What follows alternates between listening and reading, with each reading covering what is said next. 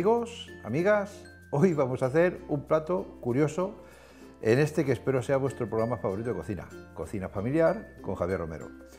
Eh, vamos a hacer un pollo sentado a la cerveza.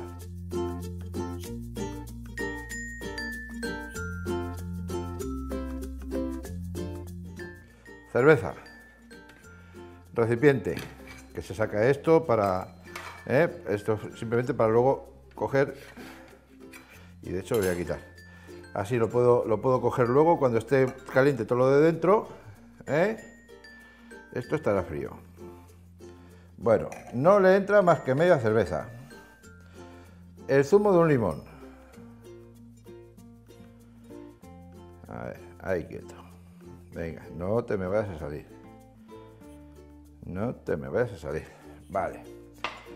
El pollo. Vamos a quitar la gomita. El pollo este, pues ahora le vamos a quitar lo que no le gusta angulo. Ay, y todo por no, ponerlo en la tabla.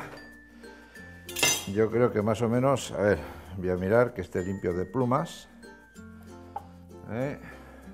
Aquí está, más o menos está bien. Bueno, la piel esta, la del cuello, la ponemos así para adentro, para que cuando la cerveza esté haciendo ebullición por dentro no se nos salga por aquí.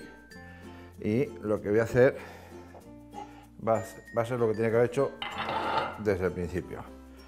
Ponerlo en la tabla y quitarle esta parte de aquí de la piel que nos va a estorbar para poner esta, esta grasita también fuera. Bueno, pues a este pollo le voy a poner un poquito de sal por dentro.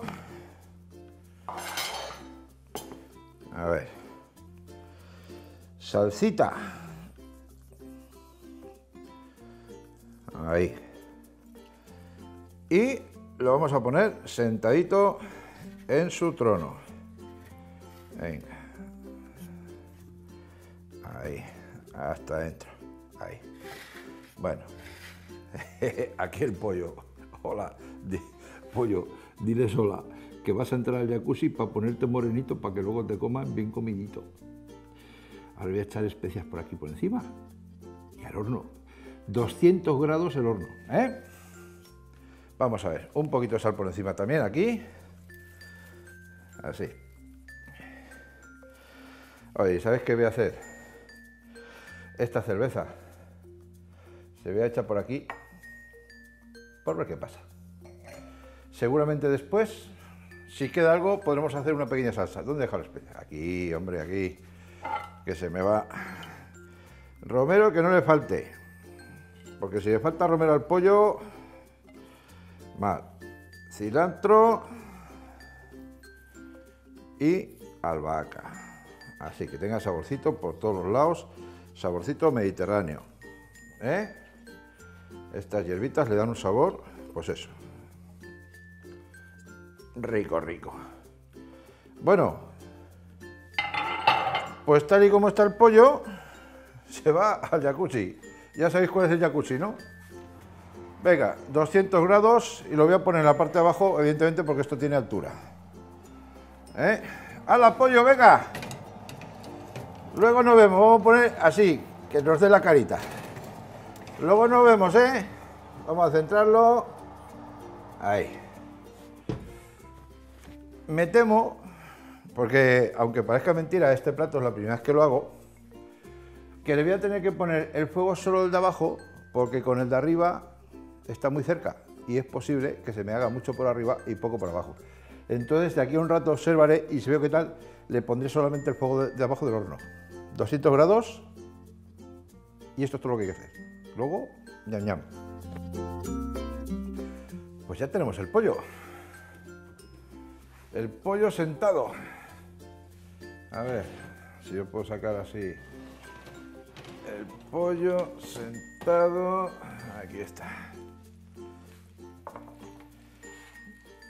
Que tiene una pinta que vamos.